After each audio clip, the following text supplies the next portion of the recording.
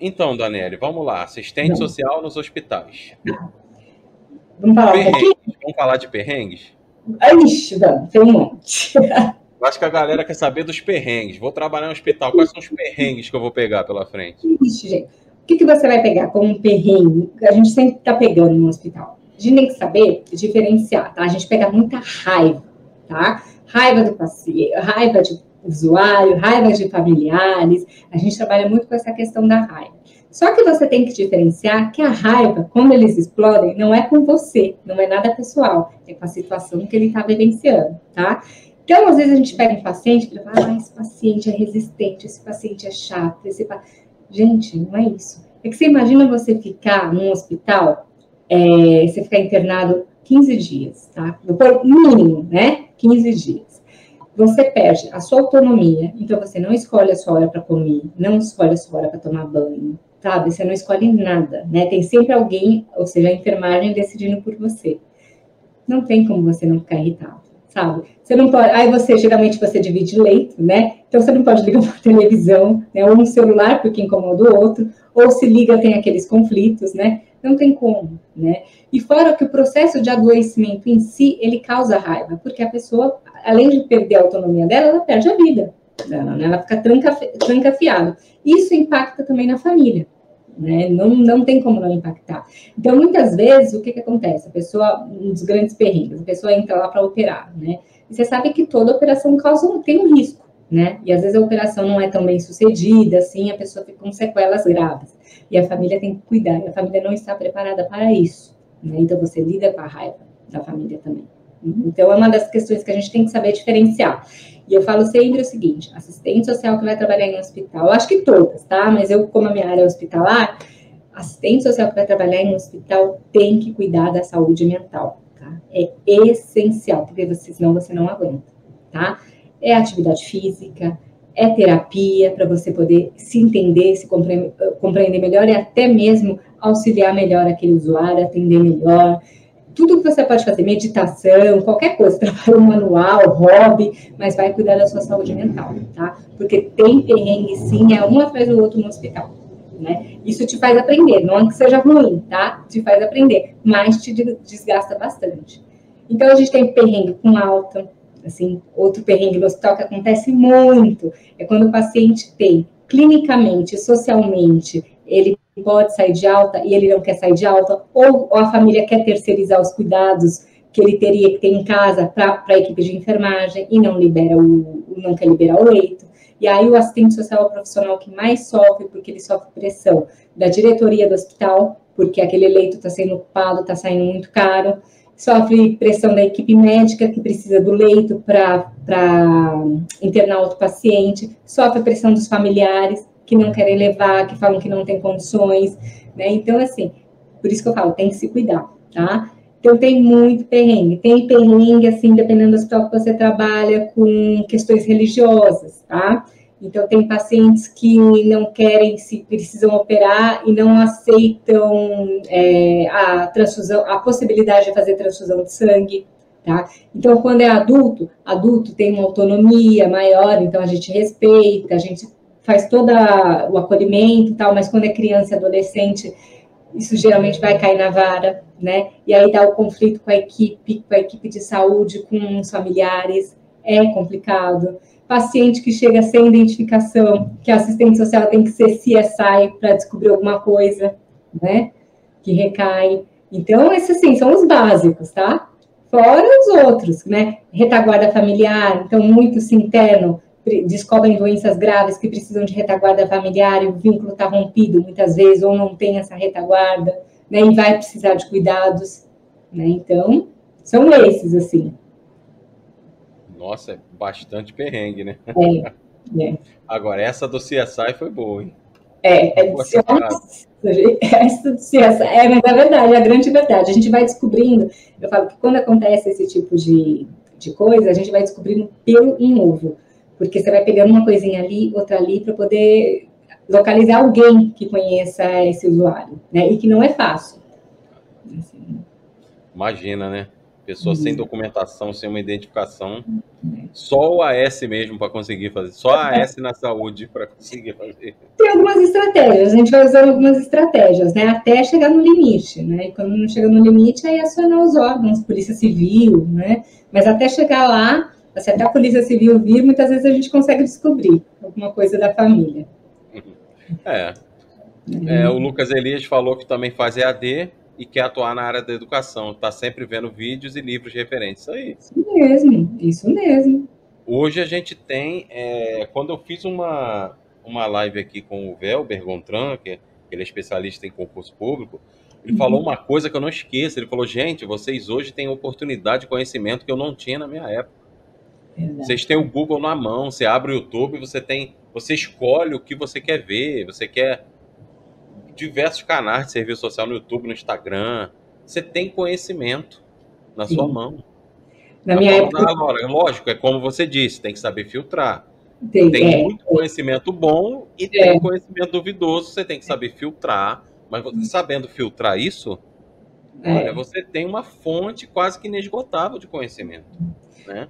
Assim, eu divido assim, tudo que fala assim, você copia e cola para poder adaptar o teu conteúdo, você tira fora cai fora dessas coisas, entendeu? Agora, quem vai te falar, vou te pegar na sua mão, te ensinar a fazer, aí já é mais confiável, né? E tá cheio aqui, tá cheio no Instagram, assim, eu trabalho mais com Instagram, então tá cheio, assim, eu vejo perfis maravilhosos. E na minha época, quando eu me formei, não tinha. Isso Uma também. outra coisa que tem que ter cuidado é que tem galera, olha, isso aqui eu vou ter que dizer aqui, tá?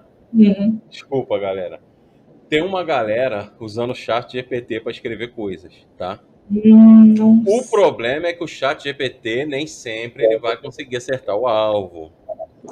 Por exemplo, se você faz uma pergunta ao chat GPT sobre serviço social, chat GPT, o que, que ele vai fazer? Ele vai trazer elementos do serviço social americano e vai fazer uma mistureba.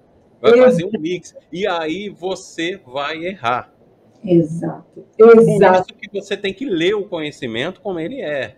Não confia totalmente quando, olha, se falando de serviço social, gente, não confie no chat GPT assim cegamente, não, tá? É terrível. Eu já peguei erros, assim, crachos, do, até cliente.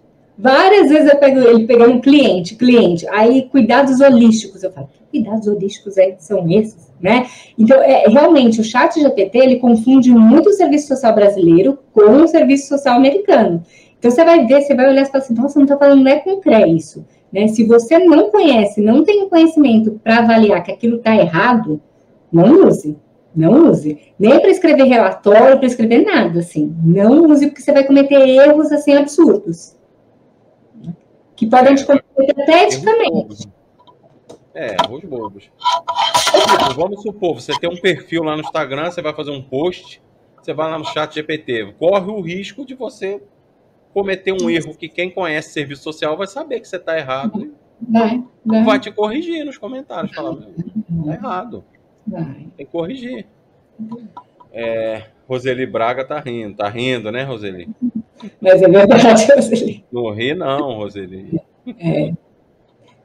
Ele é muito bom para muitas coisas, né? Que ele facilita. Não vou te dizer que ele não facilita a vida. Agora, para o serviço social, se você não tem um conhecimento, daquilo que está certo e está errado, conhecimento teórico, Olha, use. Se eu te disser, tem gente escrevendo livro com o chat GPT, tem gente escrevendo e-book, tem sim. gente fazendo TCC com o chat GPT. Sim, sim. O que mais me espanta é que passa batido. Sim, sim. Com sim. todos os erros que ele vai cometer, eu não sei se o chat GPT é mais competente nas outras áreas. Deve ser. É uma ferramenta muito potente de inteligência artificial. Sim. Mas, se tratando de serviço social, tem essas questões. Sim. E aí eu fico imaginando como é que uma pessoa vai escrever um TCC e esse TCC vai passar por um crivo e não vai, e não vai ser corrigido? Não. Das duas, uma. Ou não foi lido esse TCC. Porque não é possível, gente. Sim. Como é que você vai trazer elementos do serviço social americano e misturar com o brasileiro, assim? Sim né? E vira e mexe no chat GPT quando você procura alguma coisa, é, eu já cansei de ver. É, tipo, conhecimento, como é que eles falam? Emocional do paciente. Óbvio, a gente que trabalha no hospital, você lida com o emocional, nem eu acabei de falar da raiva, né? Mas eu não tenho a competência que o chat GPT coloca que o serviço social tem para lidar com essas questões emocionais. A gente lida com o primeiro, eu falo com um primeiro momento emocional, né? No acolhimento. No acolhimento, a gente lida com as questões. Até tem a questão do acolhimento, mas não é um acolhimento terapêutico. Não é terapêutico. É saber separar. É. Exatamente. Nos Estados Unidos é diferente, galera. Para vocês entenderem, lá nos Estados Unidos, o assistente social trabalha com acolhimento terapêutico mesmo. É, terapia. É, Aqui no Brasil, não. Não, não. Não. Já começa por aí, ó, o erro que você vai cometer, gravíssimo. Sim. Se confiar. Sim.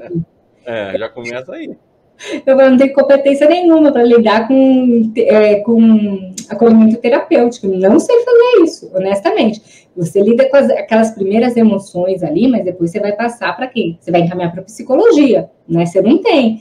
E pelo que o chat GPT põe, a gente tem, teria, tem esse conhecimento. Nós não temos, gente.